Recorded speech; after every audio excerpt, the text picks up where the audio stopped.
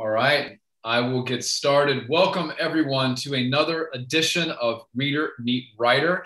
This event is sponsored by the Southern Independent Booksellers Alliance, and we want to thank our partners at the New Atlantic Booksellers Association for supporting this event and inviting all of their stores. Uh, the Southern Independent Booksellers Alliance is an organization that represents just under 700 independently owned bookstores throughout the Southeast. And we have been doing these events, and I am your host for these events. My name is Wiley Cash. I'm the New York Times bestselling author of novels like Ghost Come Home, which will be out in September. We've been doing these events since the beginning of the pandemic. And normally, uh, a writer like Cheryl would be in a bookstore near you, but she can't be. Well, first of all, she's in Rome. Second of all, we're still recovering from, from COVID. And so we're bringing these events to you the best way that we can. Y'all have given us just incredible support, and I want to keep it going.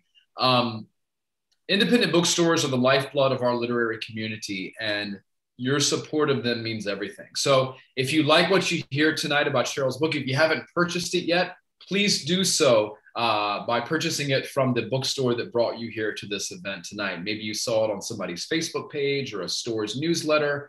Please reward that business by purchasing the book from them. Also, if you have any questions tonight, um, after Cheryl and I talk for a bit, go to the Q&A button at the bottom of your page and ask your question there, and I will make sure that Cheryl gets uh, asked your question. Make sure to include your name and the name of your home independent bookstore. Um, I want to share with you an event we have coming up next week. We are hosting Shannon Dingle with her new memoir, Living Brave Lessons from Hurt Lighting the Way to Hope. That will be Thursday next week, July 8th at 7 p.m. And something kind of interesting, I will be broadcasting that event live from the North Carolina Literary Hall of Fame at the Weymouth Center um, in Southern Pines, North Carolina. So if you want to get on a little early, maybe 6:45, I'll take a moment and show you around the Literary Hall of Fame. It's inside this um, incredibly beautiful yet creepy old mansion in uh, the Sandhills of North Carolina called the Weymouth Center. So please join us for that as well in, in advance of Shannon's event at 7 p.m. But tonight we are here with Cheryl Diamond to discuss her new memoir, Nowhere Girl. The book just came out, it's getting incredible reviews. I read it. It is today, I called it pulse pounding, heartbreaking, um, breathtaking. It is all of those things you know, I teach fiction um, most often to undergraduates. And if a student came to me with this written as fiction, I would say, this is not realistic. This is unbelievable. This is too much. But written as a memoir, it is staggering. It is overwhelming how wonderful and um, terrifying and brilliant this book is. And so I'm thrilled that Cheryl's with us tonight. She is a former outlaw, a full time dreamer, and author of three books. She grew up on the run from Interpol, transitioned into high fashion modeling in New York, and her first book, Model, a memoir, was published at the age of 21. Her second book, Naked Rome, reveals the most intriguing people in the Eternal City and their hidden stories. She is joining us tonight from Rome. Her new book, Nowhere Girl, the harrowing true story of her lawless childhood has just been released, and she joins us tonight. Cheryl, thank you so much for being with us. My pleasure. I'm really glad to be here. Well, can you tell us uh, at the top of our show a little bit about Nowhere Girl? Well, Nowhere Girl is took me 10 years to write and the reason for that is because it's a very epic and complex story which I'm sure you know having read it now. And it was a very big challenge for me to find a way to condense something so complex into just 300 pages. The first draft was actually 800. So you can imagine oh. what the editing process was like.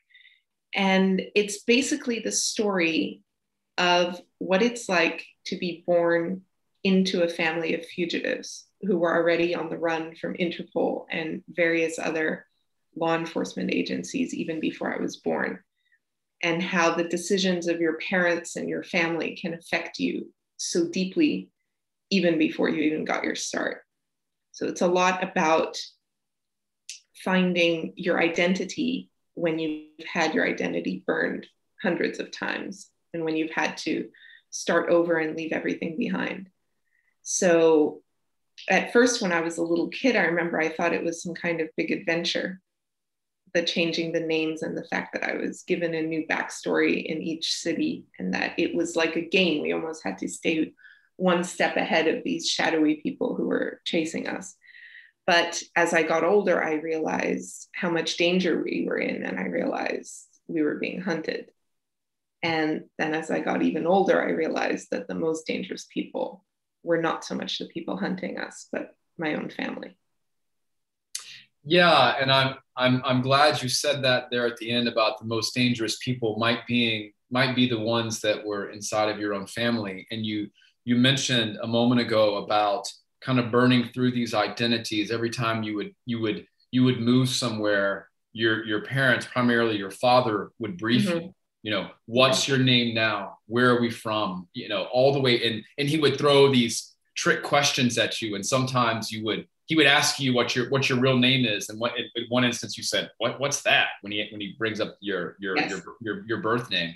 Um, so I wonder about as your identities are burned off as you move from South Africa to Virginia to you know Canada and all these different places across the globe. What happens to your identity as an individual? Can you talk about that as these fictitious identities are burned off, how do you become someone?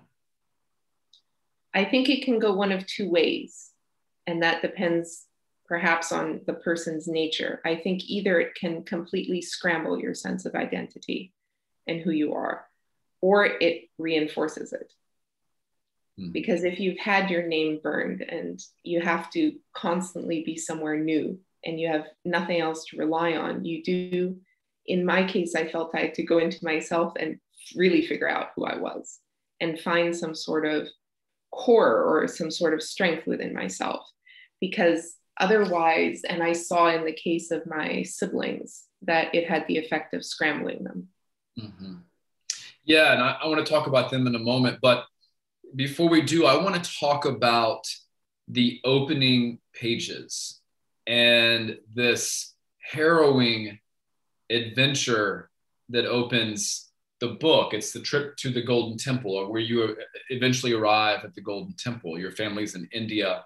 They've taken on this new identity, this new religion. They're strangers in a, in a, in a foreign land. You, you, know, you and your father especially stand out um, for reasons that we might find out down the road. Um, there's a car crash. There's armed assailants. There's all of these things. Why did you choose to open the book with that memory and that that insight into that trip specifically? Because it's my first memory. It's my first very vivid, clear memory. And I think India stuck with me in my heart also in a very profound way and a very clear way because I was only four years old at the time. But I remember, I have a photographic memory. So I remember things in pictures and the feelings. Mm-hmm. And India stuck with me because it was there were a lot of terrible and destructive things in my childhood, but there was magic there as well. And that was a particular point where there was still magic within my family. And in writing this book, I wanted to make sure to be as honest as possible and not make it a book about poor me, but make it a book about family and about the fact that you can change your destiny, even if it is a very harsh one. So I tried to put myself into the shoes also of the people who did me harm, different members of my family, and also write from their perspectives. Because in the end, it's not a story just about me, it's a story about this entire family and the challenges that we had. And uh, how the lies eventually caught up and destroyed us, destroyed the family. Sure. And, and yeah. in those opening pages, the trip to the Golden Temple, there is a there are a couple of days of reprieve where you're um, around a hotel, you're around a pool, and there's a, there's yeah. different things going on, and there is some serious tension, if not outright hatred, between your older brother and your older sister, who's the oldest, and that is a dynamic even early on, four, five, six years old you know, you feel, you're aware of. They're, you know, they're they're triangulating. They're he there, there's a moment where he tries to uh, your brother somebody approaches your sister with marriage and she's 16 and your brother says oh this is perfect we can just leave her right this is mm-hmm. the answer this is this is perfect you grow a little bit older and and and more more tensions in the family reveal themselves namely tensions between your mother and father. Can you talk about those dynamics as much as you would like without giving anything away in, in the in the narrative itself? And how from a very early age you you learned how to navigate these dynamics? Yes i think it's often the youngest child in those difficult family situations who becomes hypersensitive to other people's emotions. And even today, I can feel what other people feel, which can be overwhelming sometimes because it can be very helpful because it, it lends you an empathy, but it can also be a lot to take on. Uh, and so from a young age, I was aware that there was something wrong I knew there was something off. And I do remember worrying about that dynamic between my brother and sister. Because even though they were 10 and 12 years older than me, I felt like it had a life of its own, that that dynamic between them was going to careen out of control.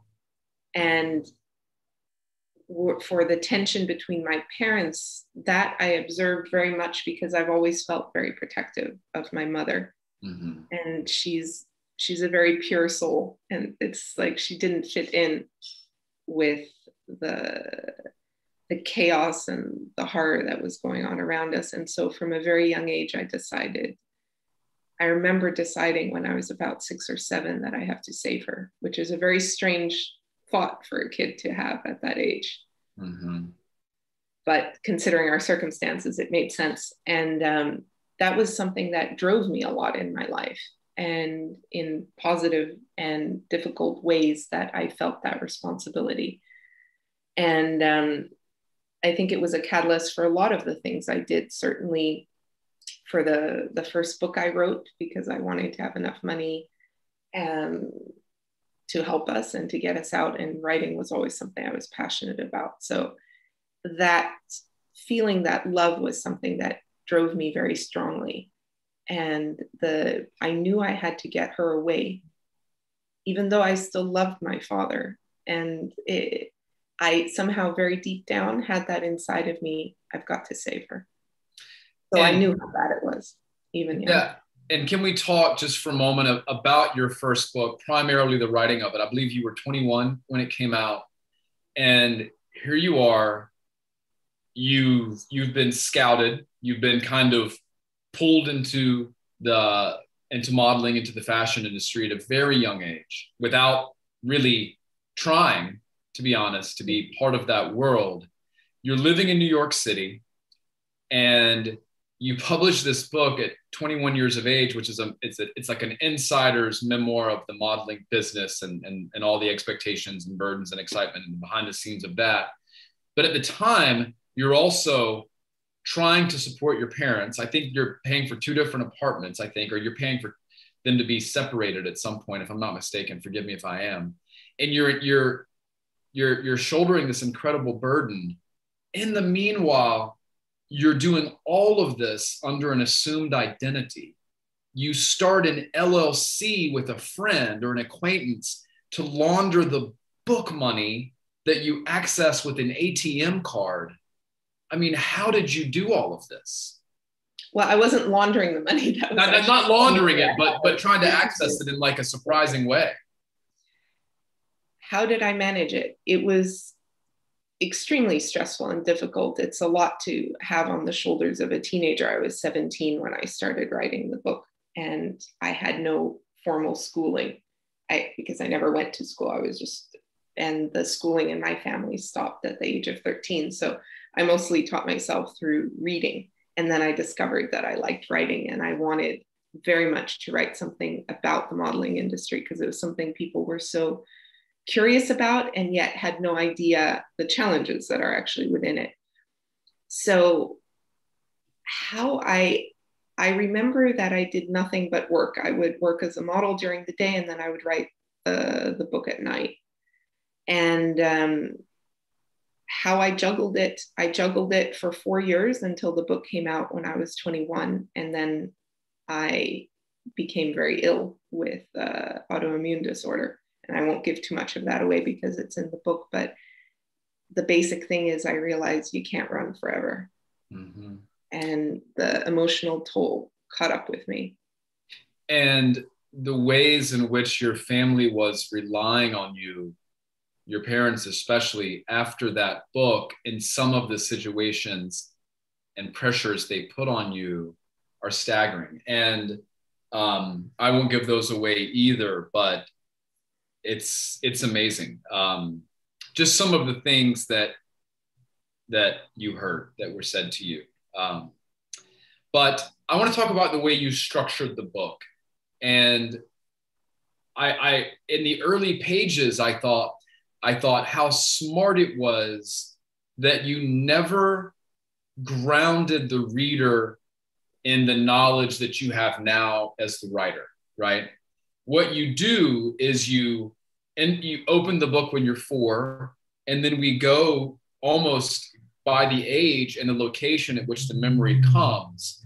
And it's only when you, the, the, the character in the memoir, you, learns the background information on your parents that your reader learns the background information on your parents and why all of this is happening why why they've been on the run how they've stayed on the run what they're running from and i thought that was such a brilliant way to give the reader insight into your state of mind there's there's a part in the novel in the, in the in the memoir where you're i can't remember exactly where you are but there are clouds or fog that are very disorienting. And I thought, my God, that's how that's how much of her life must have felt like, because that's often how I felt reading the book. Can you talk a little bit about the choices you made? This is told present tense. So we're learning the information when you're learning the information. Can you talk about the choices you made in terms of how you structured the book in terms of its narrative? Mm-hmm. I decided that I wanted it to be as true to the way it felt as possible. And so I thought, how can I make that, how can I transmit that feeling most accurately to the reader? And so I decided to do it chronologically in and in present tense so that it feels like everything is happening with the same immediacy that it felt to me at the time. And the choice to reveal things to the reader exactly as they were revealed to me at the same time, at the same age. It's because I wanted it to be like we are on, we're in this together and we're discovering it together rather than there's someone much older looking back and telling people how it was. Because a lot of the, I think, the suspense and the, the thrill and also the emotion of a book is present when you feel like you're there with the character and that you're living things together. So I wanted almost to take the reader on the journey with me. Mm-hmm. And that's why I made those uh, those editorial and structure choices. Which is so fascinating because in that early memory, the trip to the Golden Temple, where you eventually arrive at the Golden Temple, you get into uh, by you know for all purposes of car accident and you and the, and the car is fixed by a young boy in a village. There's there's men with guns. Your your family barely escapes. Um, and all of these terrifying things happen that as a father you know i have kids who are six and five i think oh my god i would just curl up in a ball and cry if any of those things happened to me. And they happen in quick succession in those early pages. But you know you as a young child sees it all as a huge adventure. And you're never afraid because your mom and dad are with you and they're telling you not to be afraid, especially your dad. But then by the end of the book or toward the end of the book, simple conversations with your father in public, just on an emotional level, are so terrifying and so revealing and so vulnerable in a way that I never felt when there were men with guns in car accidents. Can you talk about kind of raising the emotional intensity in the book as you become aware, um, living through all of these things, where you arrive at these truly finely wrought and portrayed terrifying moments of interpersonal relationships with your family? I think the men with guns were never as frightening to me because that was a threat that came from the outside. And it was something that I thought we were facing together as a family. And I loved them very much. So for me, I I was unafraid because I thought, well, we'll all stand together and we'll deal with this. And then as time went on, the thing, the reason it became so terrifying is I realized the people I thought were on my side aren't. And that maybe the biggest con was perpetrated on me, sure. not on the outsiders. So even though both situations and there's many outside threats during the book especially with interpol chasing us especially with other law enforcement agencies that were after my parents. But i remember as a kid i didn't care about any of that because i thought well i'll do anything for them. So we'd figure it out together. And um but yeah the so those things never left a mark on me. And but of course when you when you look at your own father and you realize ah so all these years was that real? Was it not? And it's also in the book it's it's a lot about trying to make peace with the fact that sometimes the people you love don't aren't the people you hope for. Mm-hmm. that they can't be for whatever reason. Sure. And trying to find the strength inside to walk away into a world because they were the only people I had. So I had no friends or outside um, reference for what could be out there. It was the outside world to me was a scary thing. And so it took a lot to face the decision of am I going to be the person that they expect me to be, or am I going to be me? Mm-hmm and that's what it comes down to i think in everyone's life is whether because even though my story is ex- very unusual and extraordinary there it's still a choice we all face in we have to at some point in our life figure out who we are and then either stand for it or not no matter the circumstances.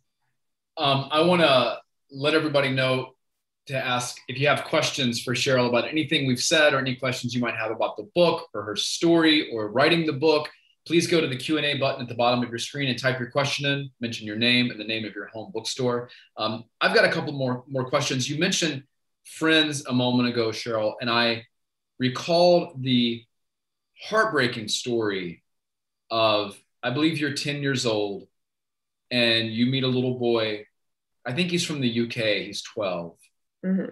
And you go to bed after meeting him with this kind of unfamiliar, uncertain mindset and this weight on your heart of, oh my God, is this a friend? Is this a friendship? What's going to happen? And then the day he's leaving, he says, Well, give me your address. I'll write you a letter. Can you talk about that moment and just kind of extrapolate from that the difficulties that you referenced earlier about friendship and connections. I i wanted to highlight that moment in the book because it was important to me. It was the moment i realized that i was not allowed to connect with the outside world or to have any lasting connection with it and that i would always be the person who was just passing through. And uh, it hammered it home in that sense because he was also a kid who had an unusual family and a father who was a bit of an outlaw. So we understood each other. And it was the first time I'd met someone my age who was of a similar kind of strange maturity level for, for that age. And so we we liked each other very much. And but they weren't as big outlaws as, as we were. And so he thought that we could stay in touch. But I knew that any postmark or any telephone number was going to leave a trail and I would never be allowed to do that. And I was forced to lie to him mm-hmm. about staying in touch. And I do remember that it had a big impact on me because I realized it's always going to be a life of lies. And it was at about the age of 10 that I realized that was not a life that agreed with who I am. Mm-hmm. But I could not see any way out because it felt like a betrayal of my family to go against it. And so you're caught between love and the desire for freedom. You're caught between the feeling of duty to your family and the need to be yourself. And that was the battle that would really come to the fore when I grew up and became about 20, 21. And I realized I had to take action or it was going to take me down. Sure. And you, you mentioned uh, a moment ago, you know, a life of lies, finding a way out. There is a, a scene which is presented almost comically because it's so surreal. There are several moments. There's a moment where you say, um, my mom was un- my mom was uncomfortable with certain things, but she was always okay with us being around men with guns or hanging out with the Japanese mafia. You say it's there, there are several lighthearted things like that that point at just how absurd all of this is for a child, for anyone, much less a child of this age, to be brought into this. But there's a moment where you write um, uh, about a few weeks after your first normal teenage party, your father shows you a secret bag with $10,000 in cash and $5,000 in gold coins. And there's also your passports and your birth certificates. What is a moment like that like to be for a, for a teenager who's just trying to be normal? It's a tremendous weight, it's a tremendous responsibility because he said to me, You're the one I can trust because I was always very collected under pressure. Um, and so that was why I was the only one that he showed the escape bag to. In case anyone found us, I was supposed to get it and then run and find the family at our appointed meeting place. So it was in at the age of 13, it was my job to save us. And um, that's a lot on a child. It was a lot. And speaking of a lot on a child, um, there's a moment when something horrible occurs between you and your older brother, Frank, and you write, Frank appears normal, so I guess I must as well. Nothing has happened. I must believe that, must repeat it until it becomes true. And later you write, I think it's about your father. My anger never seems to rest on anyone else for long. It circles back to the girl in the mirror. Um, can you talk about the ways in which you bore these incredible burdens for all of these people who didn't deserve your dedication to them. Yes, that was something I carried for a long time because after uh, I managed to break free or thought I had broken free, I realized that I was still carrying that weight of feeling responsible for everything that happened, which is very absurd, but it's a common psychological thing that children who go through abuse or difficult childhoods feel themselves responsible rather than realizing that it it's it was the responsibility of the adults of course. Because when adults are irresponsible somebody has to be irresponsible. And so one of the kids will step forward and become the parent in the situation and that was me in this in this family dynamic. That's that was my role or the role i assume. And um, it was very difficult to let go of that anger but i knew i had to and that was one of the main reasons i wrote nowhere girl also because it was a story that just haunted me. It, it it kept me up at night. I couldn't i couldn't understand it. I couldn't unravel it. And I didn't understand where it all went wrong or why we stopped loving each other. And so when I was 24, it was one of the darkest times in my life. I was completely without identity, passport, nowhere to go. And I decided, all right, I'm even, and it was also a bit of a, it was a dangerous story for me to write because these people are still out there. And I don't know where my father is right now. And I don't know. So to write the story was something a lot of friends were concerned about as well. But I remember just one day I decided, no, I'm going to do it because I think these cycles of abuse go on for generations in families. And and for certain in my family, I saw how that existed in my grandfather's family and my grandmother's side as well. And then they put it on to my mother. And then my mother chose a man like my father. And then this was visited on us kids. And at some point, like you, I stopped looking around for anyone to save me and realized sometimes you just realize you're the only man for the job and that you have to, it has to be you to do that.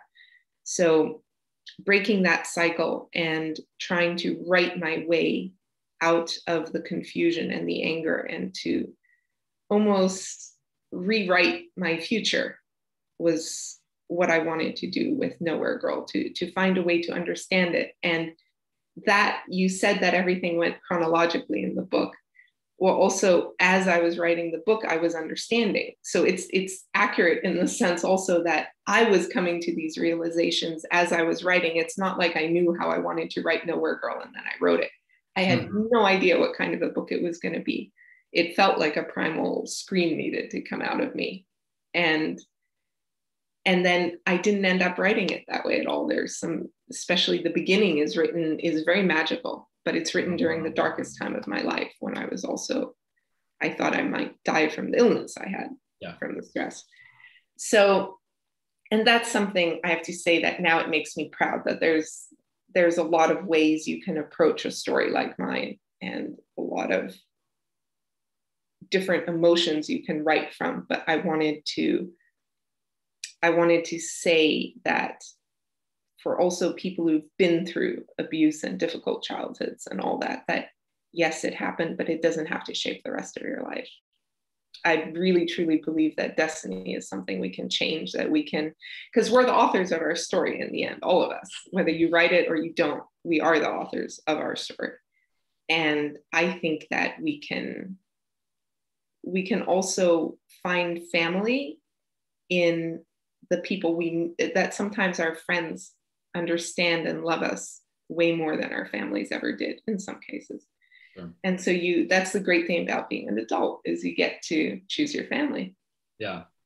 And I like what you said earlier about you know understanding these cycles of generational trauma and how your mother chose a man very much like her father. And I think that often, you know, my wife and I talk about this quite often between the two of us I think oftentimes doing what exactly what you did, which is putting a name to the trauma and unwinding the trauma, either in your mind or on the page, is already doing more to assess it and deal with it and correct it as much as we ever can than the previous generation was capable or willing to do. And this book is a testament, I think, to bravery, but also your insight and, and, and your willingness to, to do just that. And, and we have some questions coming in from, from folks who are watching, but I want to ask you, and I want to encourage folks, if you have a question, try to slip it in real quick. How did you settle on Rome? Why Rome? Of all the places you've been, many of them breathtaking, not to mention North Carolina, where I live in North Carolina. That's where it's at. That's where it's at. But how did you settle on Rome? I came to Rome just for a few days and and it felt something like home. And I can't explain exactly why, perhaps because of the I think it might have something to do with the tremendous history of the city. And the fact that everything has happened here at some time and somehow the city has survived somehow it went on and i think that gave me hope at a time in my life when i didn't feel much of that and also the incredible beauty of rome like you really when you walk around rome you're walking in beauty mm. and i had lost my belief in that for sure. And yet it's something very important to me because I'm quite a artistic, sensitive soul in the end. So to to be able to go around and to be surrounded by that and that feeling of warmth and absolute loveliness it did so much good to my soul, even for those few days, that I thought I want to try and find, see if I can find a way to actually live here. Because I thought, I also thought the Italians and their way of enjoying the moment would do me good. So that was the, the reason behind the choice. And I'm very glad I made it. Well, I'm envious. I'm envious of you. Uh, we have a question from KC. KC asks For many people who suffer trauma, their past memories are often spotty. Um, but could would you or could you talk about the possibility that maybe the trauma you experienced may have sharpened your memory or sharpened your powers of observation? You talked earlier about how you feel that you're an intuitive person. Do you feel like the experience that you've had has sharpened your lens, your memory, your perception? Absolutely, yes. Yes um, because it made me become extremely aware of my surroundings, of other people's emotions, and of myself. And it was very interesting. I did therapy actually with a very renowned uh, neuropsychologist, and he did something very interesting. He scanned my brain. And the most interesting finding he had was that my memory center was not was completely like a normal person and there were signs of PTSD in other areas. But that center was, and normally people, it's completely black in people who have gone through what I've gone through. And he said, oh, That's why you made it. Hmm. And that was a very interesting moment for me because I said, What do you mean? And he says, Because you never shut you down. Oh, wow.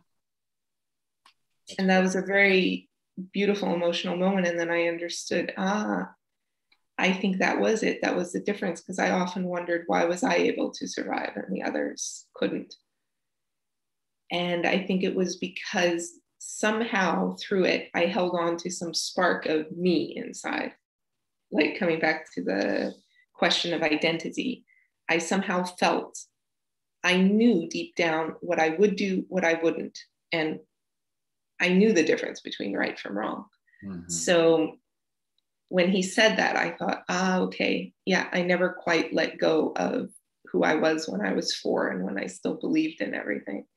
Sure. And that's a very powerful thing. Often people will call that naivete in a child or in young people. They'll say, oh, they believe anything is possible or they believe that they can make it through, and that's naivete. But I think that's our greatest strength.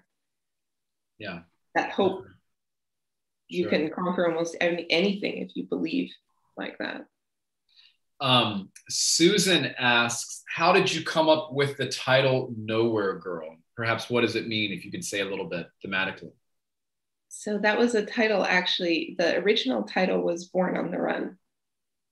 And then, in a conversation with my agent, it's uh, Larry Weissman and Sascha Alper, and Sascha said, you know, I've been thinking, and there's this title that keeps coming back into my mind that I think would represent the story very well. And it was her idea, Nowhere Girl. And I thought about it for a while, and then I realized that she had a very good point because I did have that fit, and it's true. I'm when people ask me where I'm from, nowhere is the answer, or everywhere is the answer.